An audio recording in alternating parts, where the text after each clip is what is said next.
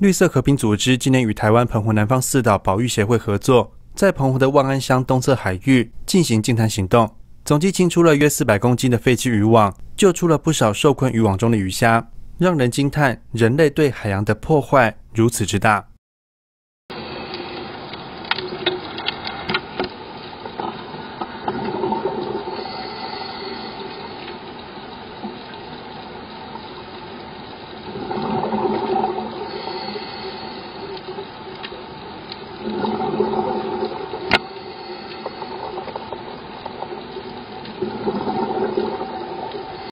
这次的近海地点位于万安岛利西龟产卵栖地保护区东侧水域，不过保护区仅涵盖产卵沙滩的陆域范围，而为保护母龟上岸前及幼龟孵化后的周边海域。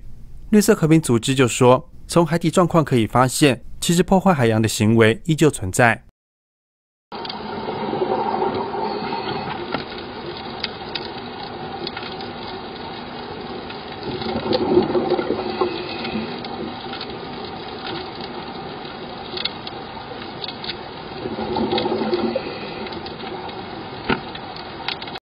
海洋专案主任周梦勋说：“海底废网众多，可见不当渔捞活动仍旧存在，且覆盖住珊瑚会导致它们破损或感染，更会影响大片海洋生物的栖地。但海洋保育法立法进度严重落后。”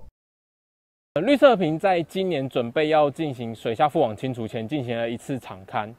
这几次的场勘里面，我们发现到它的渔网量根本就不是我们一次进海就能够解决的，它的数量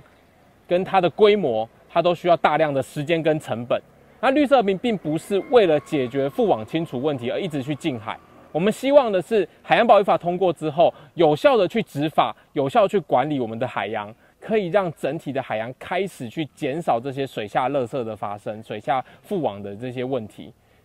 我们来到望安岛的东侧去做近海，其实就是要凸显说，我们在望安岛发现。我们希望保护它的绿蜥龟的产卵栖地，可是它的整片的海域，即便附近都是已经是南方四岛国家公园，可能在附近还有一个七美渔业资源保育区，其实其实它的附近海域是没有真正被保护到的。所以在这样的条件下，其实我们会认为说。望安岛的周边，如果我们发现到很多水下的覆网或者是一些废弃的一些渔网，它其实造成了很严重的生态破坏，它没办法真正的保护到我们想要保护的海龟的生态系统。台湾澎湖南方四岛保育协会荣誉理事长吴祖祥说：“近海成本非常高，一趟近海平均花费约三十万元，总计能清出约五百公斤的垃圾，换算下来，一公斤的垃圾需要花费六百元。”民间的力量和资源很有限，也借此呼吁政府加强海洋执法人员的量能及执法力度。海洋垃圾其实是越来越多。举例来讲，我们我们一次进海进出来的废网跟垃圾五百公斤，但是我们花的成本大约是三十万。嗯，这样子的话，等于是一公斤清出一公斤的垃圾的成本是六百块。你看看这个热这个成本是多高？我们把那些。保特瓶啊，塑胶的垃圾往海里面丢，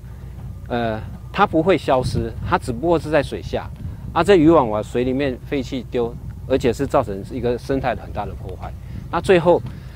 它经过了 N 年之后，它还是变成塑胶为例，然后透过整个食物链再回到我们自己人类的身上。那我们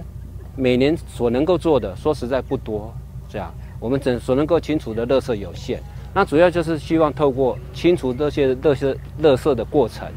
把把这些成果让社会大众知道，啊，这些垃圾是，呃，不清楚是永远存在的。那副网其实它会藏到一些鱼类，好像我们这一次就有藏到一些莺歌鱼、纯鱼，好，然后甚至有些网子很新，有些鱼才刚藏到上去，然后我们还有把它网子剪开，还可以拯救一些